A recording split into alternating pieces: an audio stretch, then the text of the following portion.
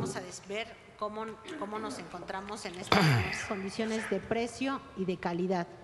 Creo para eliminar los números de compra. Raquel Buenrostro, secretaria de Economía, se reunió este jueves con el embajador de los Estados Unidos en México, Ken Salazar.